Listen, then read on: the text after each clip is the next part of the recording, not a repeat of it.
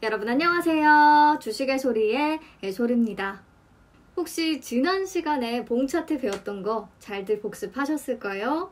어, 우리 차트의 기본, 그리고 봉 차트를 그리는 방법, 또 일봉, 하나의 봉이 의미하는 것들 같이 공부를 했는데요. 일봉 하나를 보고 앞으로의 주가 흐름을 예측하는 건 불가능하고 어떤 연결된 여러 봉들 속에서 특정 봉의 형태가 중요한 의미를 갖는다고 했었잖아요. 오늘은 주가 상승을 예고하는 몇 가지의 봉 패턴들을 같이 한번 살펴보도록 할게요. 첫 번째, 망치형입니다. 모양을 보니까 기억나시죠? 이 망치형 일봉은 어떤 때의 의미를 가지게 되냐면 주가가 쭉 하락 추세를 보이다가 그림에서 보시는 것처럼 아랫꼬리가 달린 양봉의 망치형이 만들어지는 경우입니다. 이날 장 초반에는 전날처럼 매도세가 우위여서 음봉이 형성되다가 장중에 매수세가 강하게 붙으면서 시가보다 종가는 높은 가격에 양봉으로 마감을 한 거죠. 이런 경우 보통 상승 추세로 전환할 수 있는 신호로 봅니다. 실제 차트를 통해서 한번 확인해 볼게요. 보면 쭉 하락 추세를 그리다가 망치형 아래 꼬리 달린 양봉이 나왔죠. 그 뒤에 바로 추세가 전환돼서 한참 또 상승 그래프를 그립니다. 네, 이렇게 의미 있는 봉이 될 수 있으니까요. 하락 추세가 계속되다가 망치형이 나타났다면 유심히 한번 보세요. 마찬가지에 다른 예시도 하나 더 보여드릴게요. 하락 추세 끝에 망치형이 떴고요. 그 다음에 상승 추세로 딱 전환이 됐죠. 네, 넘어가서 두 번째. 망치형을 딱 위아래 거꾸로 뒤집어 놓은 모양이죠. 영망치형. 주가가 하락 추세를 보이다가 긴 윗골에 달린 음봉이 만들어지는 경우에 상승 추세로 전환될 가능성이 있다고 보는데요. 왜냐하면 요날 장 초반에는 상승세가 뚜렷하게 좀 나타나면서 그동안에 물려있던 사람들이 이 윗골에 달린 가격대에서 매도를 한 거예요. 결국에 주가가 다시 떨어지면서 이렇게 꼬리를 달고 음봉으로 마감을 한 거죠. 사실 이때 윗꼬리가 달리기는 했지만 양봉으로 마감을 했다면 더 좋은 상승 전환 신호라고 볼 수 있겠습니다. 자, 근데 이 경우에 주의사항 말했듯이 앞에서 본 망치형처럼 강한 상승 전환 신호라고 볼 수는 없어요. 하지만 기존의 매도 심리가 어느 정도 매수 심리로 전환되고 있다는 의미로는 받아들일 수 있고요. 만약에 이 상황에서 다음 날의 시가가 영망치형의 종가보다 높게 갭을 딱 상승 갭을 형성하게 된다면 신뢰도는 훨씬 커집니다. 그리고 다음날 주가가 윗꼬리 안에서 그 가격대 안에서 형성되는 것도 좋고요.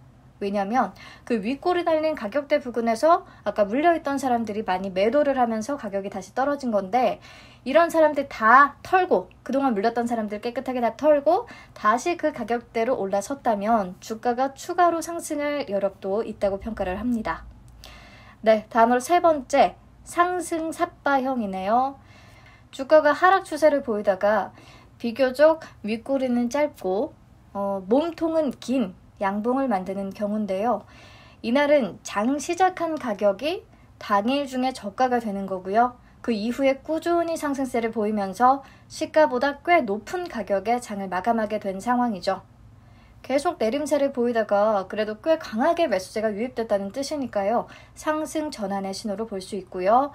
당연히 몸통의 길이가 길수록 상승 전환 신호가 더 강하다고 판단해 볼 수 있겠습니다. 예시 보세요. 동아 엘텍이라는 종목인데요. 이 친구는 상승 사파형이 조금 자주 나타나더라고요. 여기서 하락 추세 계속되다가 상승 삿바형 나오면서 짧지만 상승 추세를 만들었고요.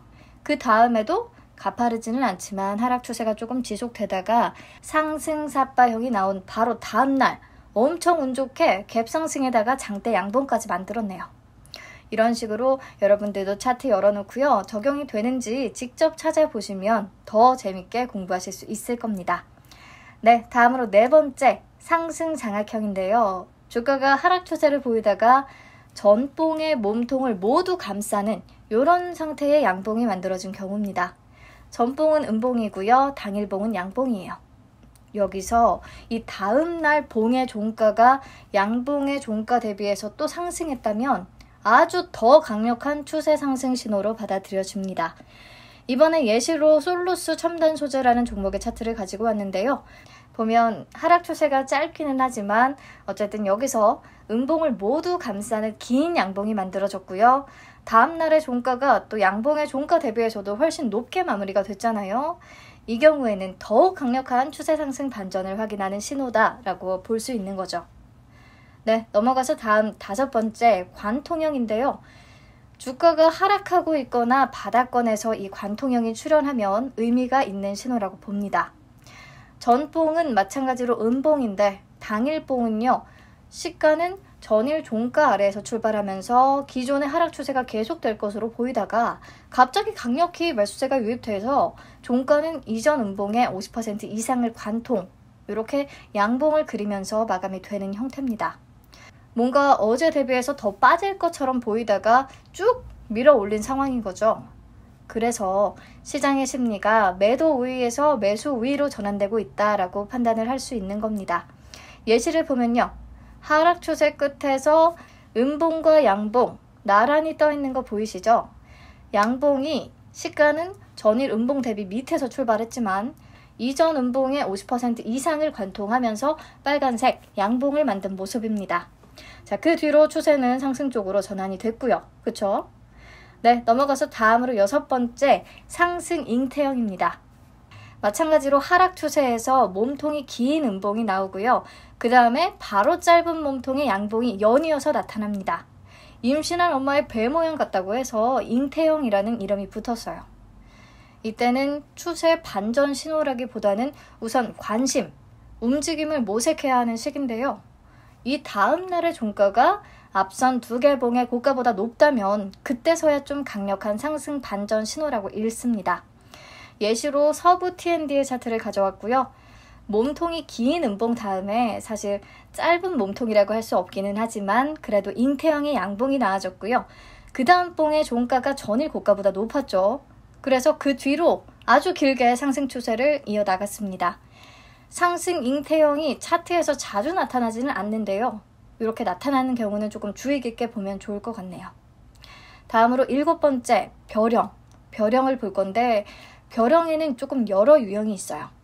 첫 번째, 상승 십자 별형. 하락 추세에서 장대 음봉이 발생하고 그 다음 봉이 시가는 개파락으로 출발을 하면서 추가 하락하려는 움직임을 보이다가 매수세 붙어서 시가와 종가가 같은 가격에 이렇게 십자가 형태를 만든 상황입니다. 어쨌든 더 이상의 하락을 막으려는 매수세가 있었다는 뜻이기 때문에 추세가 전환될 수도 있다라고 받아들여지는 거죠. 특히 십자가형 봉의 거래량이 많을수록 신뢰도가 더 높습니다. 네, 다음은 십자 샛별형이에요. 장대 음봉 다음에 개파락으로 십자가 발생한 것까지는 똑같은데요. 요 다음 날 상승 갭을 만들면서 긴 양복이 추가로 또 형성된다면 추세 전환 가능성 훨씬 더 높아집니다. 특히 세 번째 봉의 거래량이 많을수록 반전 가능성은 더 높겠죠. 샛별홍도 보시면 거의 비슷해요. 그런데 두 번째 봉이 십자가가 아니라 음봉이나 양봉을 나타내고요. 세 번째 봉은 마찬가지로 상승 갭으로 출발한 긴 양봉입니다. 여기서 두 번째 봉이 양봉이면 상승 반전 가능성이 더 높고 또 세 번째 봉의 거래량이 많을수록 신뢰도가 높아집니다.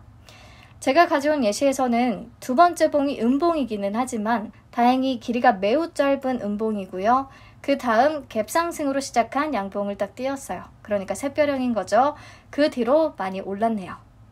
네, 넘어가서 여덟 번째 상승 반격형 하락 추세에서 장대 음봉이 발생하고 다음날에 시가까지 더 낮은 가격의 개파락으로 심지어 출발을 했는데 매수세가 확 붙어서 몸통이 긴 양봉을 만들고요.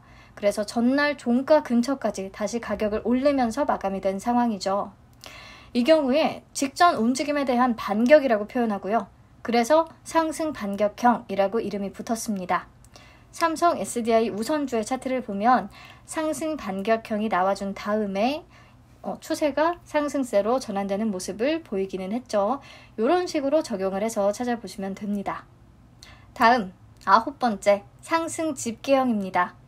그림 보면 두 개의 봉의 저가가 비슷한 가격인 것을 볼 수 있죠.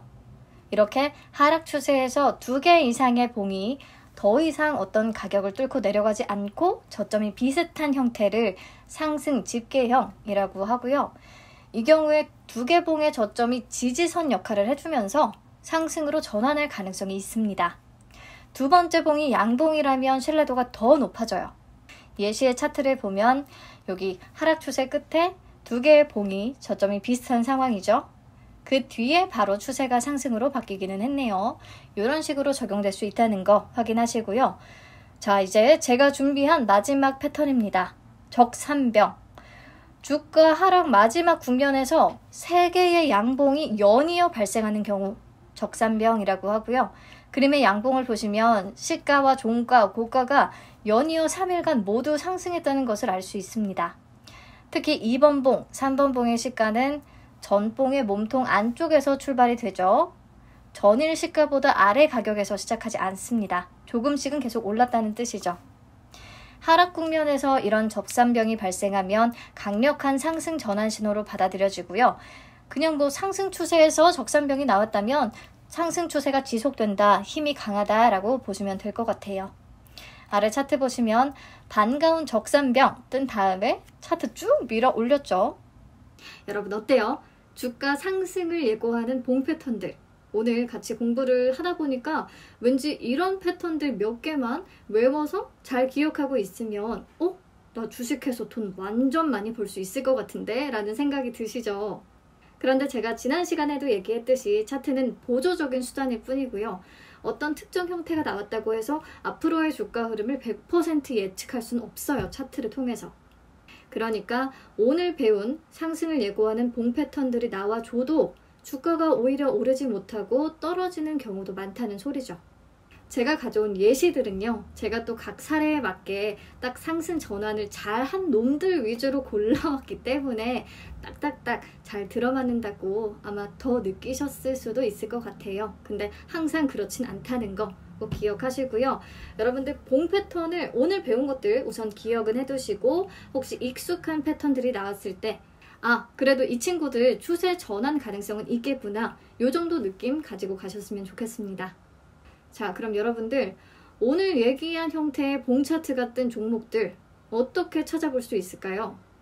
내가 지금 상장되어 있는 모든 종목의 차트를 하루 종일 다 돌려보고 앉아있을 수는 없는 거 아닌가요? 하는 분들이 분명히 계실 텐데요. 이럴 때는 조건 검색식이라는 것을 활용하시면 됩니다. MTS에서는 대부분 지원이 안 되는 기능이고요. HTS를 활용하셔야 되는데 저는 삼성증권 HTS를 쓰기 때문에 삼성증권을 기준으로 설명을 드릴게요. 다른 증권사들 HTS도 뭐 거의 다 비슷할 겁니다.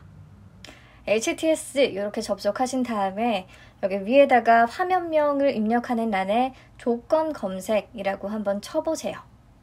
왜냐면 증권사마다 화면명이 조금씩 다 다르기 때문에 정확히 알려드릴 수는 없습니다. 삼성증권은 고급 종목 검색이라는 툴이 있네요. 저는 이것을 활용합니다. 조건 검색이라는 게 내가 원하는 조건에 맞는 종목을 찾아준다고 해서 조건 검색이거든요.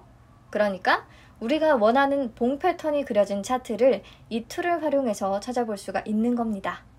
봉 패턴뿐 아니라 굉장히 다양한 조건들을 만들 수 있는데 오늘은 봉 패턴만 한번 찾아볼게요. 여기 캔들 패턴이라고 보이시죠? 클릭하면 오늘 우리는 상승 반전 추세들을 배워봤으니까 상승 반전을 한번 눌러보세요. 그러면 오늘 제가 알려드렸던 봉 패턴 말고도 정말 다양한 여러 가지 상승 추세 전환을 예고하는 봉 패턴들이 나와 있거든요. 우선 오늘 배운 것들 위주로 해서 실제로 한번 검색을 해볼게요. 상승 삿바형 한번 볼까요? 누르면 설정 부분에 기본 값으로 검색식이 만들어져서 나와요. 우리가 복잡하게 건드릴 필요 없고요. 그래서 검색 딱 누르면 조건식에 해당하는 종목들이 쭉 검색이 돼서 뜹니다. 과연 얘가 잘 찾은 게 맞나? 상승 삿바형이 뜬 차트를 골라냈을까? 맨 위에 종목을 눌러서 차트를 한번 볼게요. 미래에셋증권 EUB 우선주가 나왔네요. 보시면 현재 본 기준 잘 찾았습니다. 상승 삿바형이 딱 떠있죠? 그러면 아 이제 추세 전환 가능성이 있겠네. 어, 괜찮은 종목이라면 관심 종목에 한번 넣어볼까 하시면 되는데 여러분 그 전에 한번 보세요. 이 바로 전에도 하락 추세가 나오다가 상승 삿바형이 나왔는데 뭐 그다지 오르지 못하고 다시 추세가 꺾인 거죠. 그 이전에도 마찬가지였네요. 이렇게 되면 신뢰도가 떨어지는 거예요. 이렇게 해당 종목의 과거 차트 흐름까지 보면서 이 패턴이 이 종목에 잘 적용이 되는지까지 확인을 하셔야 합니다. 아, 미래에셋증권 EUB는 이건 상승 사파형이 잘 맞는 종목이 아니구나 하고 넘기시면 돼요. 이런 식으로 여러분들 검색해서 나온 종목들의 과거 흐름까지 쭉 보면서 그 패턴이 또 잘 들어맞는 종목들이 있거든요. 그런 경우에 관심 종목으로 편입해서 내 예상이 과연 맞았는지 틀렸는지 체크해 보면서 공부를 다시 하시는 거죠. 여러분 제가 계속해서 말씀드리지만 차트는 보조적인 수단으로만 활용하시는 게 좋고요. 우선 종목에 대한 기본적인 분석을 하신 다음에 매매 타이밍을 잡으실 때 도움을 받으시면 되겠습니다. 오늘 상승을 예고하는 봉 패턴들 같이 찾아봤으니까요. 다음 시간에 하락 패턴도 한번 같이 공부를 해보고요. 그 다음에 추세선 직접 한번 그어보도록 하겠습니다. 네, 여러분 싫으시더라도 주말에 주디니 탈출기와 함께 알찬 주말 보내시기 바랄게요. 감사합니다.